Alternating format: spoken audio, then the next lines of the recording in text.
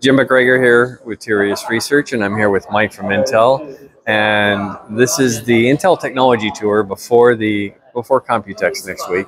We're talking about the ultra efficiency for ultra thin systems. And you know, obviously they introduced Meteor Lake in late 2023, and now we're talking about Lunar Lake. So, Mike, correct. And so what you're seeing here is we have two uh, approximately close systems here, uh, as close as we can possibly try to get here in a real world setting. And what you're seeing here is 4K AV1 playback from YouTube.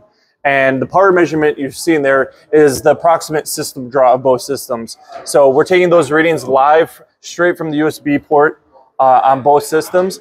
And what you're seeing from Meteor Lake is the basic efficiency from our two Piedmont cores that we introduced with those E-cores. And then with Lunar Lake, we have our new Skymont E-cores, low power efficiency E-cores, and the four of those introduce a whole new level of efficiency that allow us to contain those workloads onto those E-cores. So as I'm watching this, um, I'm seeing Lunar Lake typically in the five to six watt range, but I'm seeing the Meteor Lake more in the nine watt range.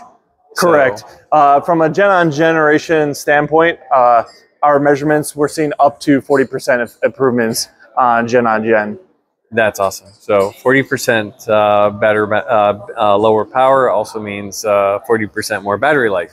Uh, it, it, depends on, again on the design of each system because each manufacturer might have a slight difference there. Actually, some of the stuff they're talking about here is also the fact that uh, some of the design features of Lunar Lake allow for a smaller system and a larger battery life. So it could actually be more than 40%. Depend, yeah, of course, depending on what those included other technologies as well. Okay. Well, Mike, thank you very much. Thank you, Jim.